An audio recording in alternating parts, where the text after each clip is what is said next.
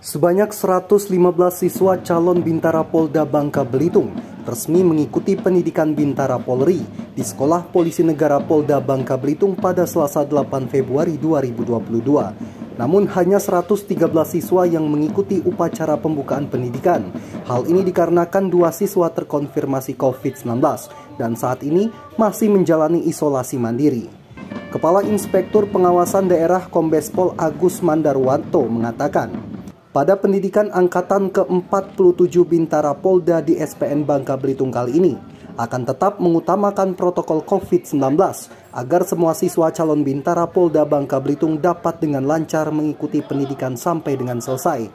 Untuk kedua siswa yang masih isoman, akan tetap dipantau perkembangan kesehatannya jika sudah negatif COVID-19, disegerakan untuk bergabung mengikuti pendidikan bersama 113 siswa lainnya yang akan dilaksanakan selama lima bulan ke depan.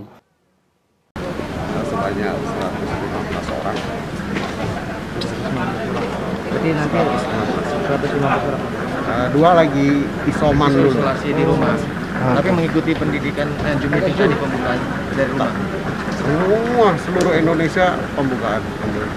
Kalau sudah COVID itu pasti kita utamakan protokol kesehatan. Kalau sebelum ya seperti yang tahun-tahun yang sudah sudah.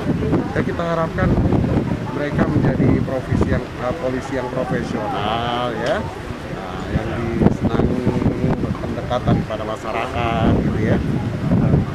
Lebih lanjut, Kombes Pol Agus Mandarwanto berpesan kepada para calon siswa Bintara Polri untuk mempersiapkan fisik dan mental selama mengikuti pendidikan. Patuhi semua peraturan yang berlaku, bangun komunikasi yang interaktif dan konstruktif antar sesama peserta didik serta dengan tenaga pendidik, sehingga terjalin hubungan yang solid dan harmonis.